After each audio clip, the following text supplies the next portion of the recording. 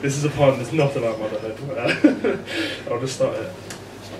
When you are your own shadow, pulled by the leash, you watch yourself from train windows, moving so fast you never settle into the skin of any one piece of countryside. At the pub, you watch yourself talking, resting in the bottles behind the bar. You have never swallowed yourself. But somehow he, you, speaks easily, no double Dutch courage, as if he, you, could have left you in bed. You will only ever see yourself behind glass. You keep the curtains closed. You've only caught yourself from screens in weeks, glimpses from the bathroom mirror.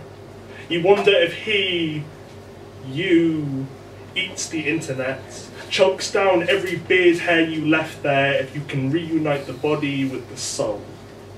The body gorges on the couch. You practice your mind routine. Your dad tries to drag you back to those summer tandem rides when your Game Boy saw the whole damn forest and every pub along the way when you looked through dad's glasses, gazed up from dad's drink. You spend that summer swimming in amber.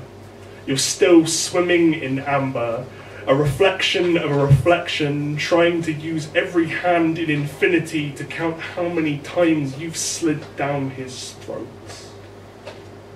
He, you, is choking on eyeballs again.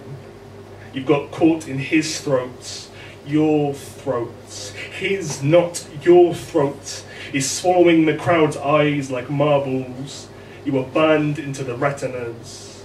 He is getting drunk on yourself like a father would. You choke on Ginsberg's glasses. Watch yourself saying his words.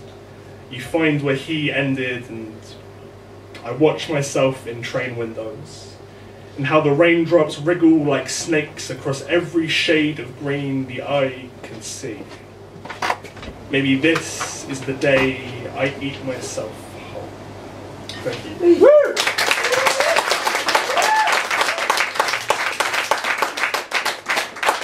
You ain't my mum. yes, you are.